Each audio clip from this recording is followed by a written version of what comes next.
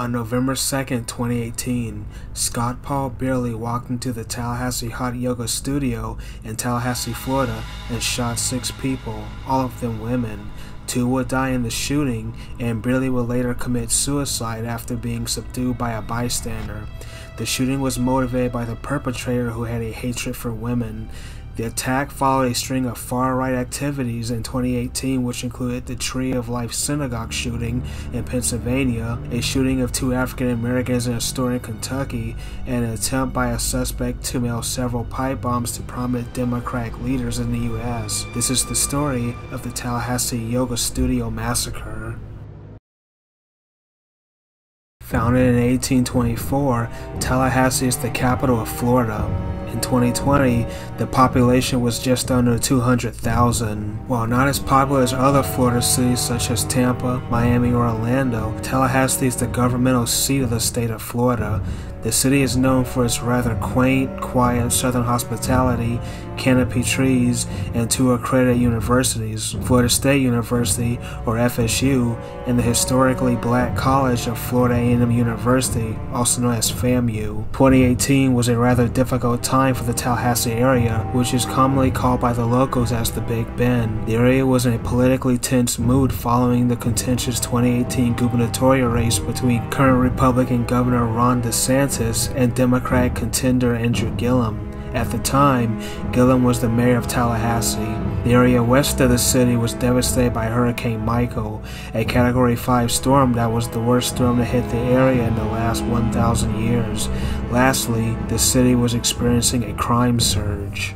Hot Yoga Tallahassee is a yoga studio that is located in a well-to-do area of Tallahassee known as Midtown. Surrounding the studio are several small businesses, an ABC liquor store, and a hair salon called Hot Heads. The studio is located on the far left of a second floor balcony in a small plaza just off Bradford Road. The studio opened in 2010 and soon became a staple with the community. The studio's clientele consisted of mainly young college-age women.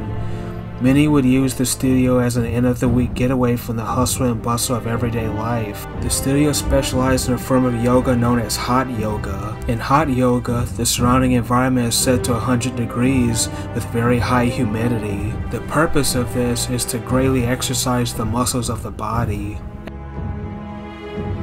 At 5.30 p.m. on November 2nd, 2018, the Tallahassee Hot Yoga Studio was preparing for another hot yoga session. Kate Pearson, who had worked in the studio, had turned on the thermostat to 98 degrees and prepared for the evening.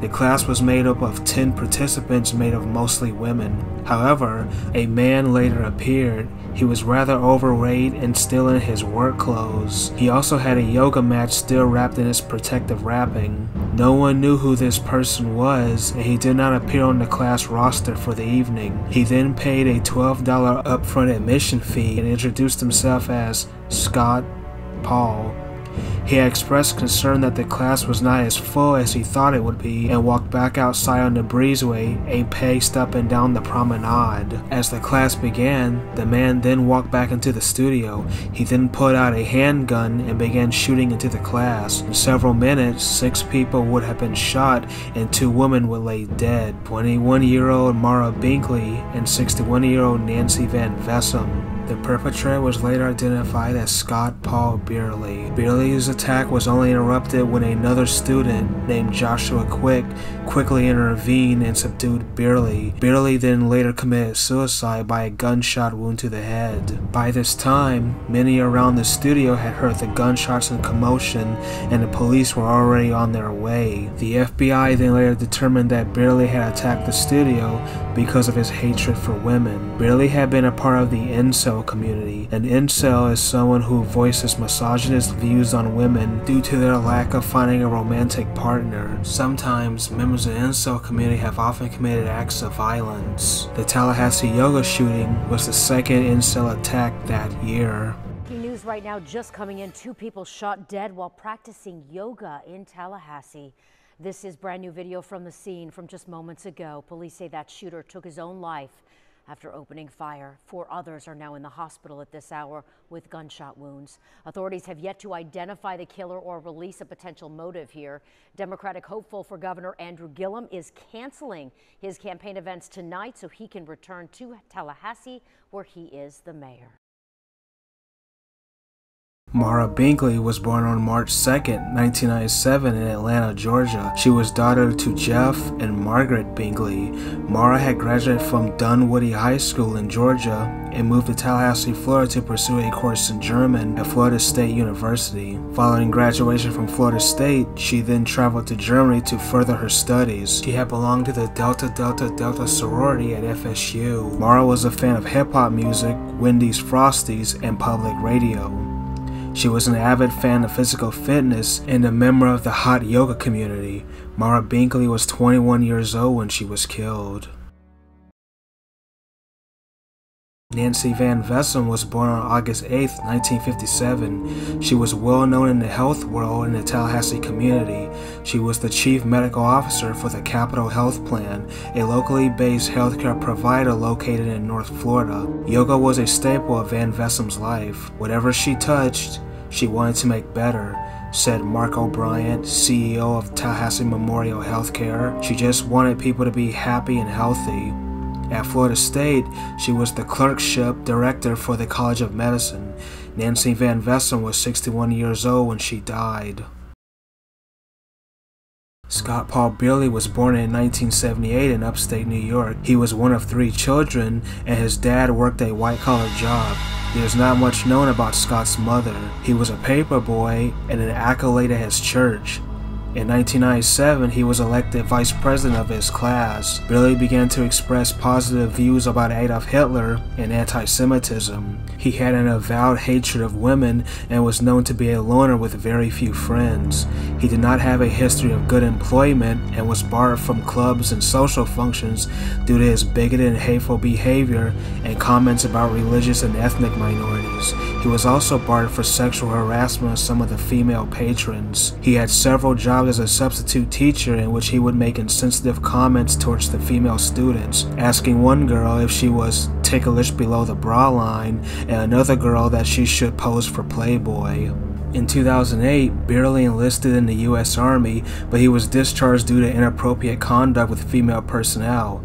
Afterwards, Beierle wrote graphic writings about death, hatred of women, and hatred of minorities. He wrote songs about cannibalism, stalking, and mass shootings. He also made angry diatribes on YouTube depicting his hatred of homosexuals, interracial marriages, Jews, and racial minorities. Also posted racist videos. I see dreadlocks as the black man's mullet. The pants below the butt. Do you realize that's a gay thing? Beierle expressed admiration for Ted Bundy and even went to Tallahassee to visit the Chi Omega sorority house where Bundy had killed some of his victims in 1978. Beierle had been cited in 2016 for grabbing a woman's buttocks at a pool. Billy was a follower of the incel movement and had sympathized with Elliot Rodger, who committed the 2014 Isla Vista attack, and Alek Minassian, who was accused of ramming a stolen van into a crowded pedestrian sidewalk in Toronto, Canada in early 2018. Billy had committed suicide by gunshot wound to the head after his attack was thwarted by another yoga student. Billy was 40 years old when he died. The Tallahassee Hot Yoga Studio massacre happened during the same time as other far-right attacks were happening in the United States. On October 27, 2018, a man named Robert Gregory Bowers killed 11 people at the Tree of Life Synagogue in Pittsburgh, Pennsylvania.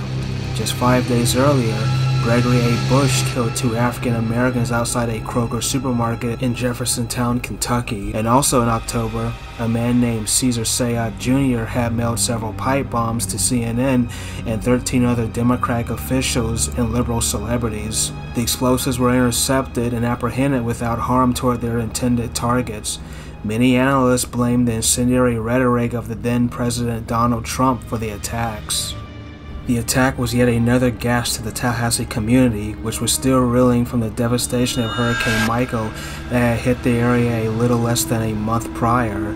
The Tallahassee yoga community then put on an impromptu memorial in the middle of downtown Tallahassee to honor the victims of both the yoga shooting and Hurricane Michael. Maura Binkley's dad, Jeff Binkley, created Maura's Voice, a nonprofit organization to educate the public on bias motivated crimes and gun violence. The hot yoga studio was then renamed Rising Om Yoga and is still in use to this day. Joshua Quick, who had interrupted Beierle's attack, was commended by the city of Tallahassee, and the city even paid for Quick's college tuition. Quick had used a broomstick and a vacuum cleaner to attack Beierle, which caught him off guard.